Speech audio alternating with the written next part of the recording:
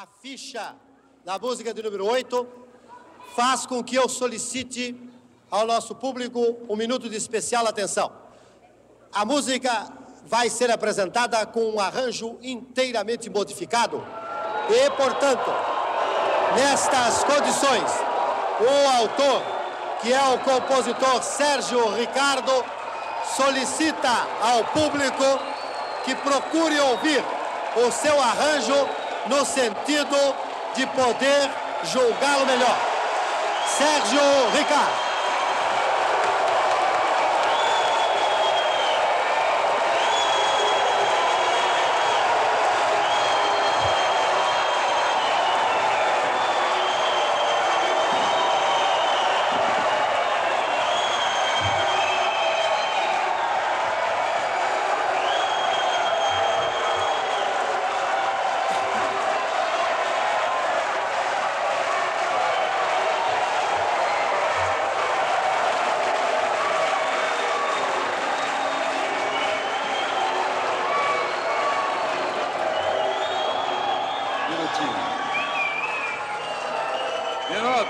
Minuto. Minutinho, por favor.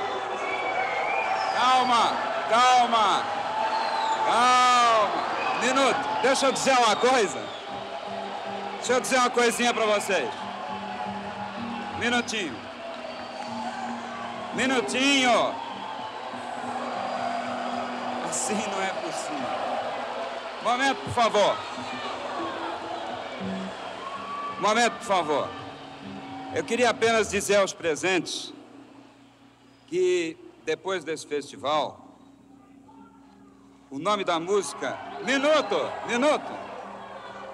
O nome da música vai se chamar Beto Bom de Vaia. De forma que vocês podem vaiar à vontade. Tá, olha, por favor, por favor, ouçam. Minutinho. Acontece o seguinte, aqui na plateia só tem pessoas inteligentes, como eu estou vendo. Quer dizer, vocês estão. Vocês estão vaiando a vocês mesmos. Vocês estão vaiando a vocês mesmos. Não, eu não canto baixo do baile. Minutinho. Canto.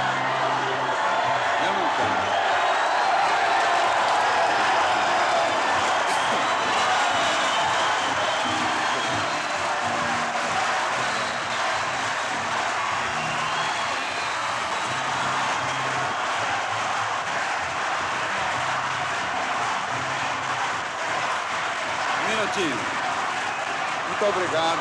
Muito obrigado, Oscar Clemente. Eu quero pedir.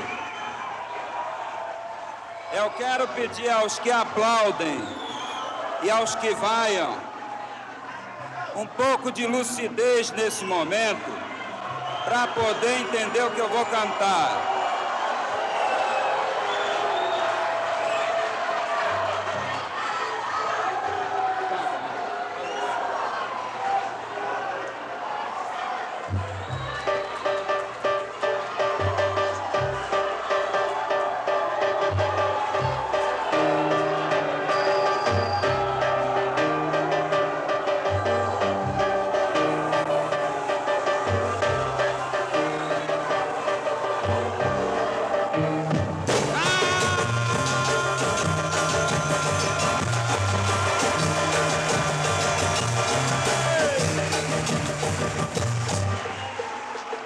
Homem não chora por fim de glória, dá seu recado enquanto dura a sua história. Homem não chora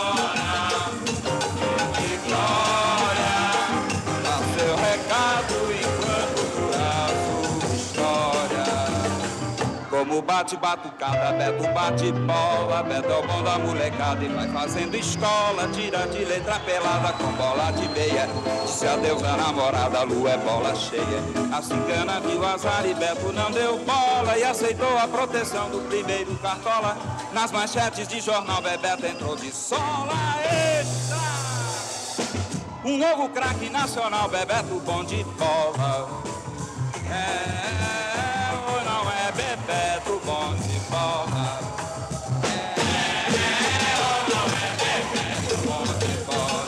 Foi-se a Copa e foi-se a glória. E a nação se esqueceu do maior craque da história.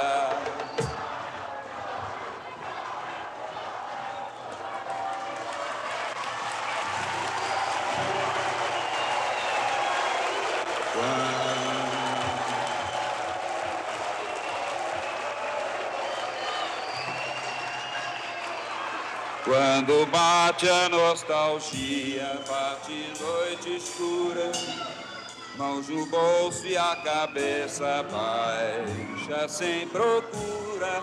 Beto vai chutando pedra cheio de amargura num terreno tão baldio quanto a vida. Eu não consigo nem ouvir o tom. Onde outrora foi seu campo de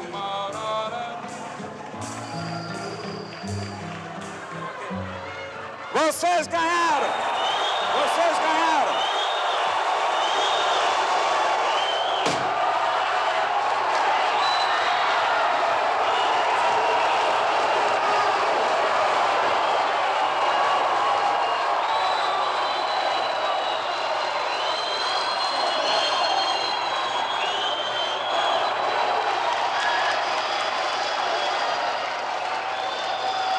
Eu não poderia ah, compreender, como profissional, uma atitude de um profissional ah, como Sérgio Ricardo. Tenho a impressão que ele perdeu completamente, ah, vamos dizer, as estribeiras. E a nós, como diretor da TV Record, não nos restava outra alternativa a não ser desqualificá-la.